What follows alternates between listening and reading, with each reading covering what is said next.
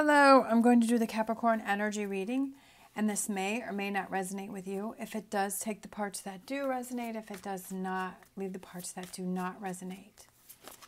All right.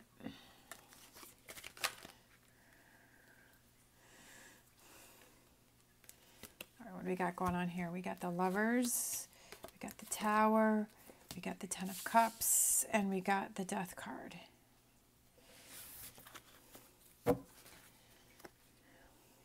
The lovers. We go the lovers, and then we have the tower, right? That represents a breakup.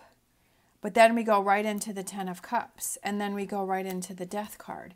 So it's almost like this back and forth, right? The lovers is a connection and coming together, and then the Tower is a breakup, and then that there's there's right things that are happening, but then we're happy, but then we have the death card. So I feel like there's a transition within a relationship. I feel like there's a transition either within the relationship or that there was a recent breakup, but you're transitioning into this 10 of cups and the death card, like this change and this transformation. I feel that it's a a good thing. It's either within the relationship or it's it's something that just happened. What is this tower here? What is this tower? The Chariot, the Six of Pentacles,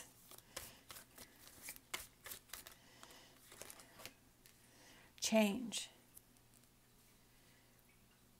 Moving toward change within the relationship where the communication becomes clearer, right? There, that I almost feel like there was no communication in the relationship, but I feel like you're things needed to be changed because I have to I have a feeling that it has to do with sharing or communicating. What is this death card? Death card. Death card.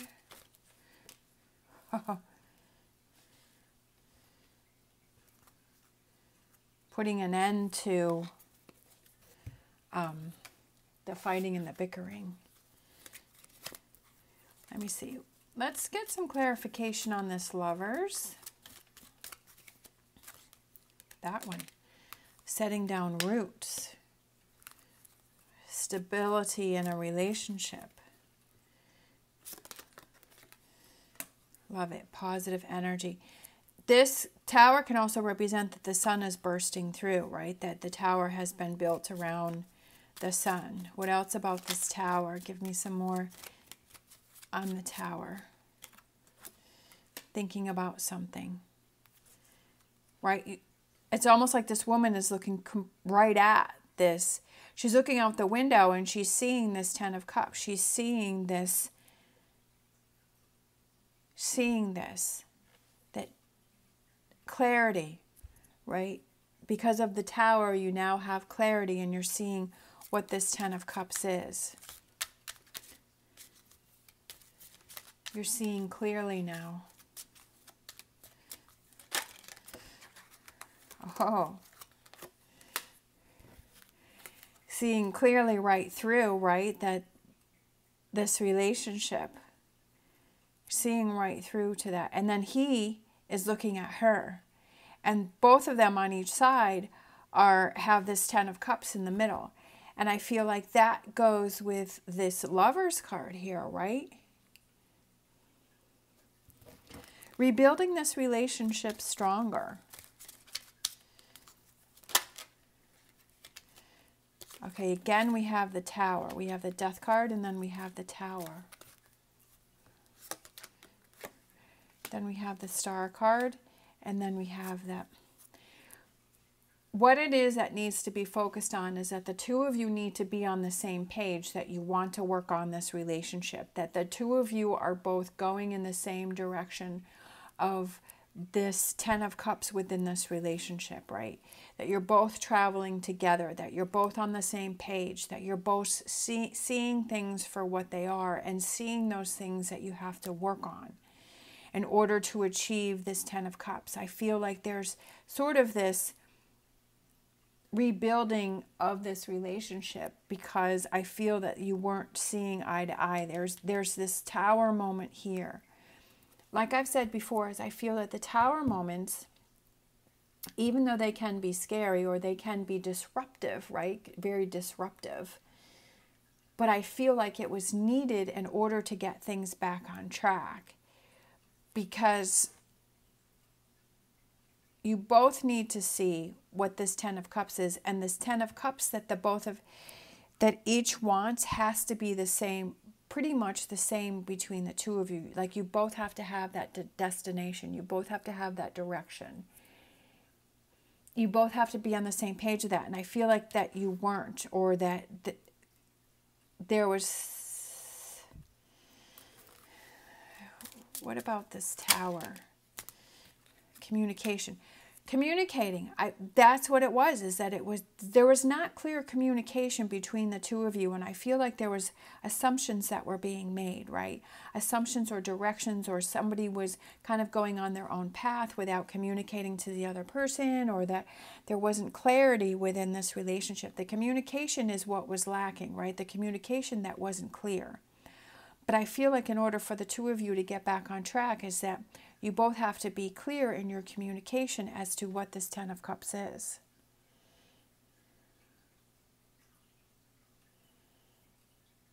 It could be that you've been together for a long time and that, you know, sometimes you start to, people grow. People grow in different directions. People want different things. And sometimes we just make assumptions about, oh, this person, you know, should know this or this person should know that The communication was going haywire here between the two of you. This is what's going on. Things have to be let go of, things have to be moved on from, and then that's this seems like a big challenge, but it's not when the communication becomes clear and you're both being guided and you both have the faith and the trust and the belief in this relationship. that you're both on the same path together, that you're both knowing that you're both headed in the same direction, right? So I feel like that's what needs to be going on here. That's you I feel like you both want the same thing. But the communication wasn't clear. All right, what's surrounding Capricorn in this reading? Time for a nap. Time for a nap. happy, happy. Love that. Time for a nap. I feel like the time for a nap is kind of taking that time to yourself and to process things and to look at things and to see, okay, what are those things that you can do within the relationship to help this communication, to help this situation, right? Whoa.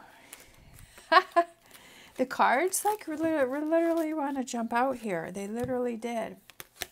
Higher power. I feel that the signs are around you. I feel like the energy is around you that's trying to show you these things. All right, what else do we have going on here with Capricorn? What's Magician in the Mirror? Time for a nap to be this magician in the mirror, to have that time to yourself, to look in the mirror and say, what do I really want in this relationship, right? What do I feel that I can work on, that I can work on in this relationship? How do I get to this 10 of cups and how do I communicate better? I have the power to change things. I can't change how that other person feels. I can't change what that other person does, but I can change those things that I can do, that I can control, right? I want happy, happy, right? I want to be happy. I want to be I want to have this 10 of cups.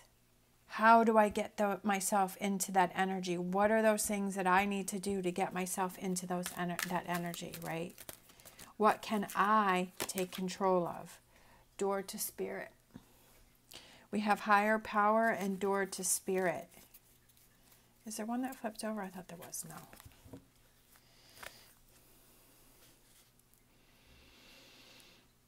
I feel like that's getting in touch with your own intuition. I feel like it's again, we have the cross over here, that faith and that belief and that guidance. I feel like there are signs that are around you that are trying to direct you and guide you and give you those messages. What other energies do we have surrounding Capricorn? Deceit. You have to be aware of deceit, deceit, falsehoods, untruths, right? Deceit.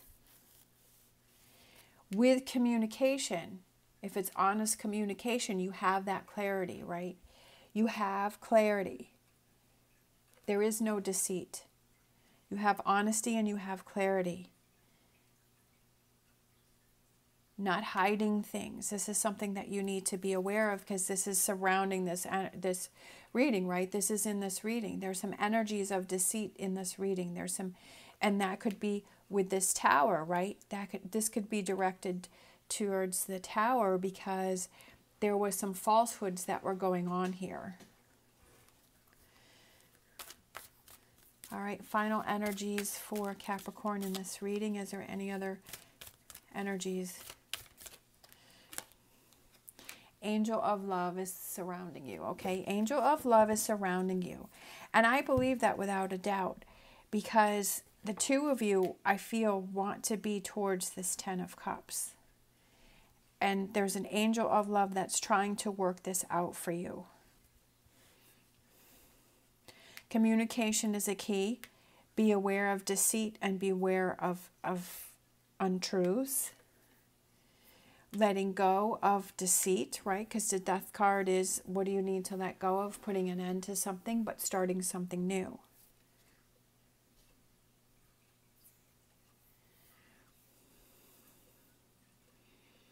energies that you have to be aware of and, and look at and see. What are those things that you can control and you can do? All right, so I just want to grab one of these.